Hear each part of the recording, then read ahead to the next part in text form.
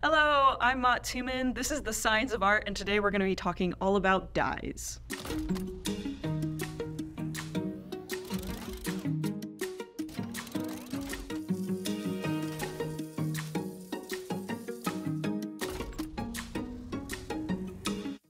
You might have heard people talk about whether an art supply is pigment based or dye based, but what does that really mean?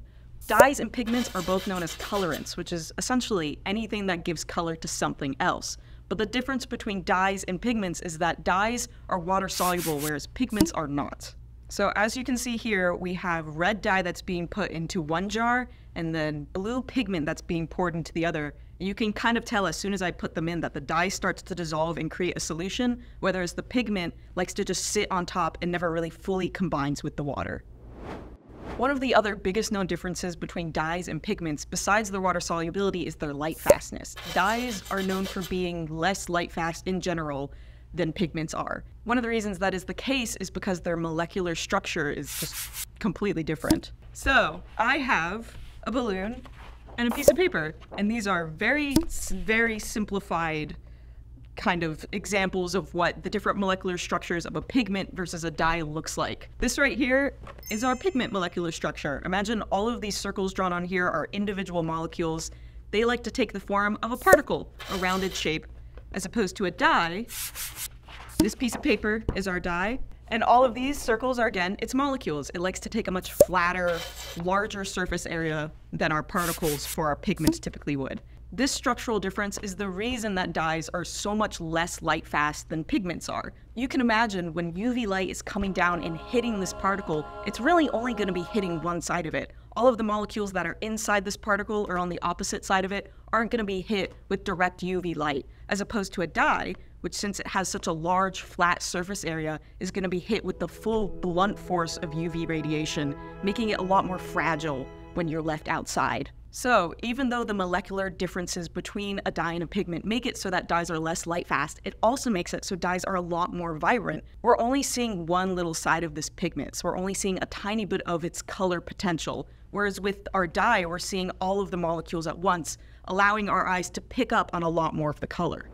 There's lots of different fun stuff we can do with dyes, but one of the really exciting things that you can accomplish with dyes that you can't get with pigments is fluorescent paints. Fluorescent pigments do exist, but they're actually just modified dyes. What they do is they take dye and they dissolve it in a plastic or a resin, and then they let that dry and grind it up into a super fine powder so that you can get fluorescent paint, just like these Soho acrylics. Unfortunately, since these paints are dye-based, they are still not light fast, but we really can't get this vibrancy without them being fugitive, so it's kind of a trade-off. One of the other fun things that you can do with dyes that you can't really do with pigments is alcohol markers. We got our Artfinity markers here, some papers, and some alcohol inks. Alcohol works as a great medium for carrying dye because it dries really rapidly, leaving only the dye behind. Since dyes form an actual solution with alcohol instead of just sitting in it like a pigment would, it can create really smooth, crisp washes of color. That coupled with its super fast drying time is what allows it to create such clean, crisp, smooth gradients. The other thing we have here is alcohol ink, which is essentially the same thing that's in this marker, just a lot more of it. One of the other things that makes dye work so well with alcohol is that alcohol has a much weaker surface tension than water does, which means if I pour out this alcohol ink here, you can see how quickly it disperses and spreads out and gets that really nice flowy effect that a water-based product wouldn't get. For comparison, this is another dye solution that's water-based instead of alcohol-based. And you can see just how much it kind of likes to hold together because it has such a stronger surface tension than the alcohol does. While dye-based products don't have the same level of light fastness as pigment-based products do, they have other traits that really can't be matched by pigments. Their level of vibrancy and solubility are things that pigments can't replicate.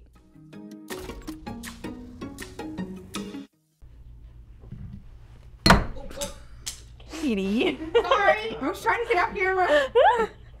and they dissolve them. This still has the packaging on it.